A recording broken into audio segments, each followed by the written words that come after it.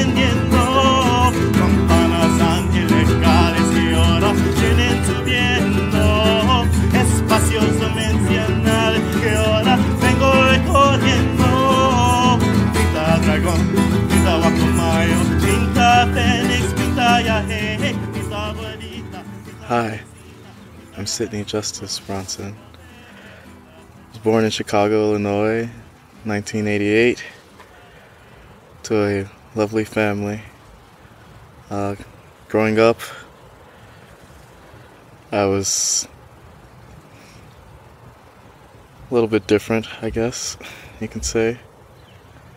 My dad, he said he had a, a dream or a vision that he had to quit his job when I was born.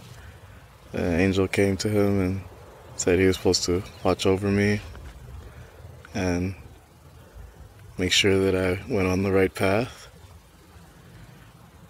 And he used to always tell me that when I turned 28 that my life was going to change. And I didn't know what he meant by that, but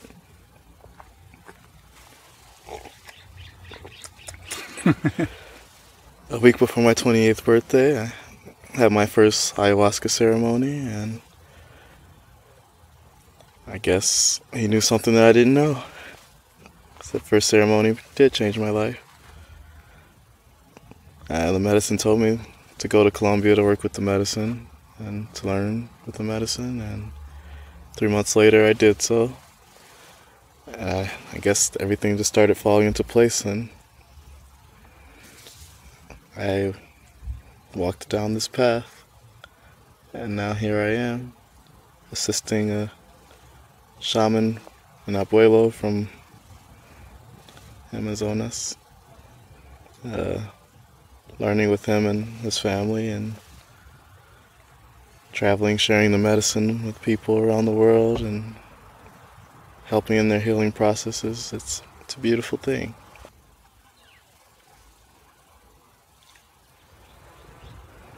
hmm It's a path of discovery. It's a path of acceptance and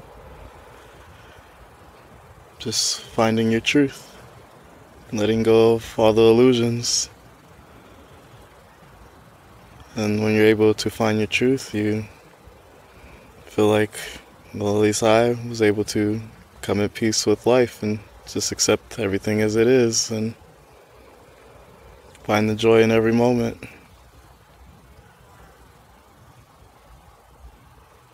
Know. This path can be hard. You know, some people, they aren't willing to let go of their pain because they're so comfortable in it. But by myself doing so, I can be an example for others to show them that the other side might be a little brighter.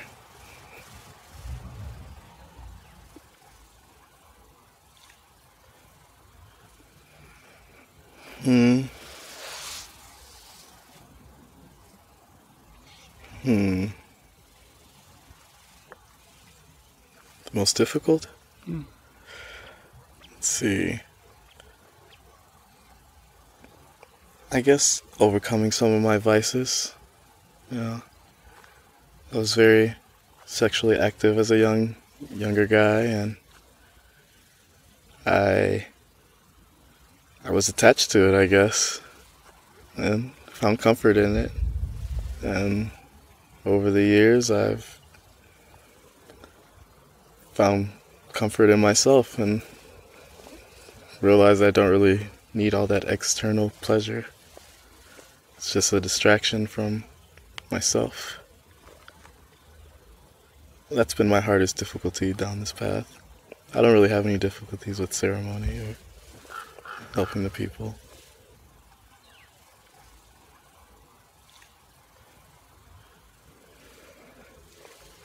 Just witnessing people making changes in their lives. It always makes me smile. Just knowing that the work that we're doing has an effect on the world, on humanity.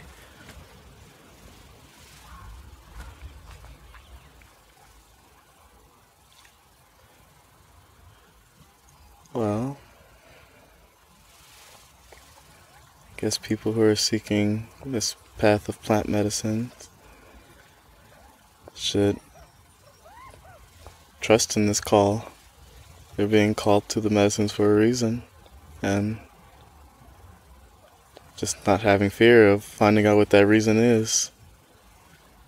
If you feel like if you feel like you got some work to do on yourself and you feel like these medicines will help you, I would say go for it. Don't stop yourself.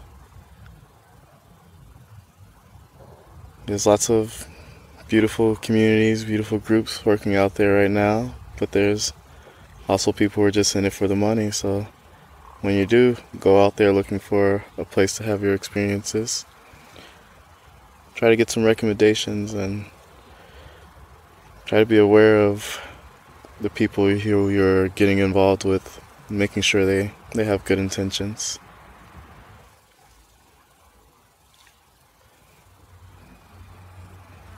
Nothing really surprised me in this path, you know.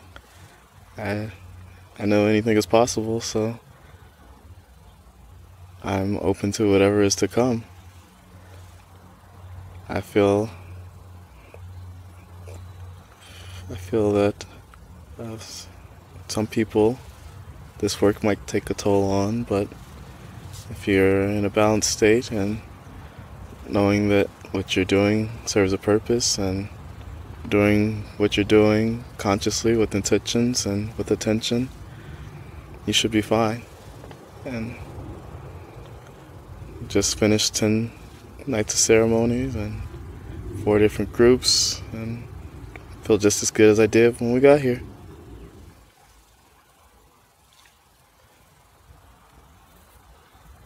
Importance of a team is making sure that everything is running smoothly, making sure operations operate perfectly, making sure the people are taken care of and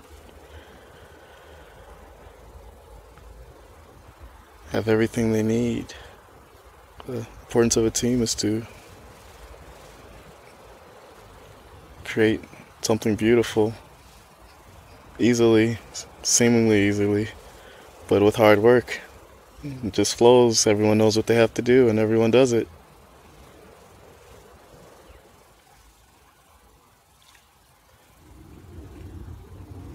Well, it depends on the community you go to, what the roles are. We work with the Colombian traditions, and the Colombian traditions, they have various roles, such as a fire keeper. This person guards the fire, takes care of the fire all night, make sure it's at the proper heights, levels. There's a person who makes sure the bathrooms are clean make sure the maloka's clean.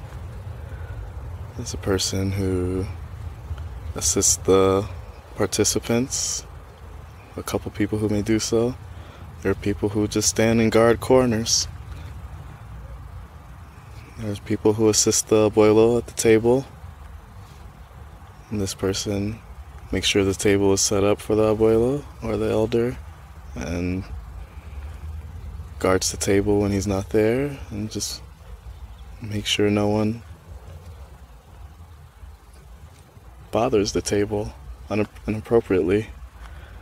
Uh, lots of various roles. Every role serves its purpose, and every part comes together to create the whole.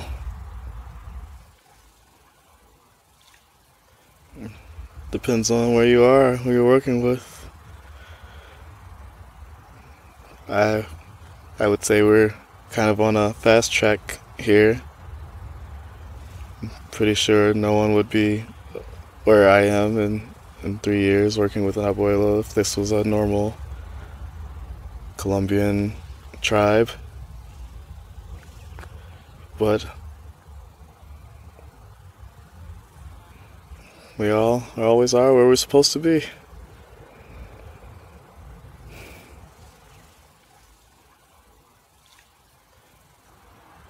Mm, I don't see that as my identity.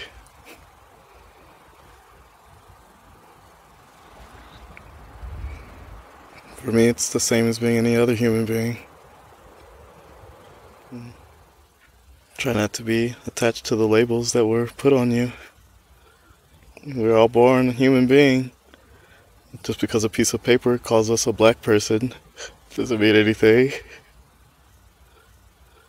We're only taught these things. If we weren't taught these things, it wouldn't even matter.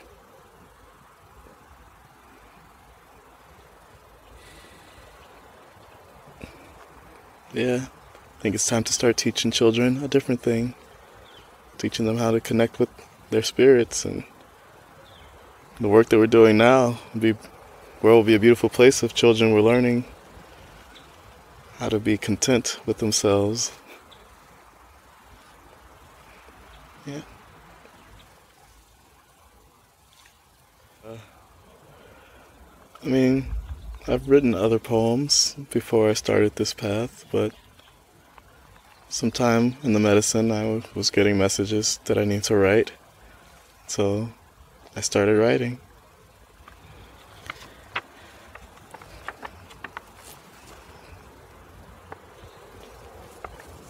Well, since page is already bookmarked, I'll read this one. I think it's a an important lesson in the beginning of a journey down this road. It's titled Letting Go. There are things in our lives that don't serve us, yet we find comfort in keeping them around. They have been with us for so long, you could say it's the only way we know. It's what we're used to. But as we go through this process of becoming a new us, we must pack up some of this baggage. We have to see these things for what they are and allow ourselves to let them go. By letting go, we make room for the divine, a more aware version of ourselves. We progress closer to the us we came here to be. We evolve into the true you and the true me. That one came to me a couple years ago and felt like it was an important first step in going down this path of allowing yourself to let go of all those attachments that people are holding on to because those are the things that are really holding us back. Things that don't serve us anymore, but yet we just want to keep them around. Get rid of them for a week, and and we just unconsciously crawl back to it. So don't be afraid to let it go, people. You don't need it.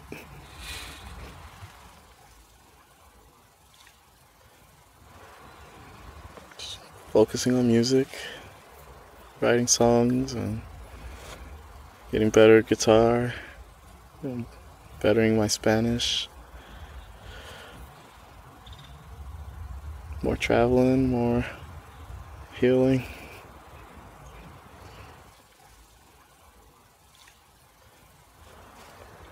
I think it'd be cool to have a a ceremony on a cruise ship.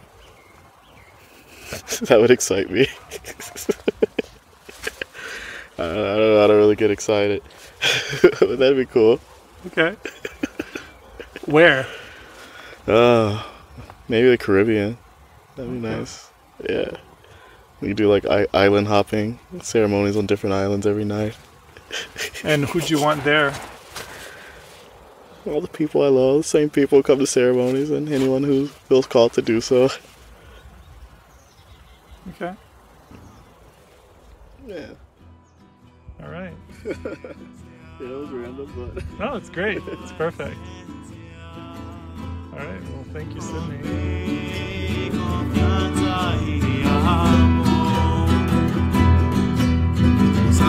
sana, sana, que siga cantando. Canta, canta, canta, que sigas cantando. sana, sana y tranquiliza la mente.